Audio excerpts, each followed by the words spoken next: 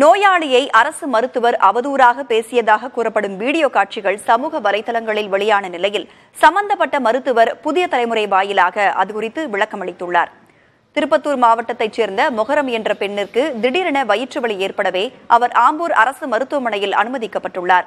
இரவில் அவர் அனுமதிக்கப்பட்ட போது மருத்துவமனையில் மருத்துவர்கள் யாரும் பணியில் இல்லை என கூறப்படுகிறது. வலியால் துடித்த அவருக்கு செவிலியர் ஊசி செலுத்தி காத்திருக்கும்படி கூறியுள்ளார். அங்கு பணியில் இருந்த மருத்துவர் கார்த்திகேயன் நோயாளிக்கு சிகிச்சை அளிக்காமல் அலைக்கழித்ததாக கூறப்படுகிறது.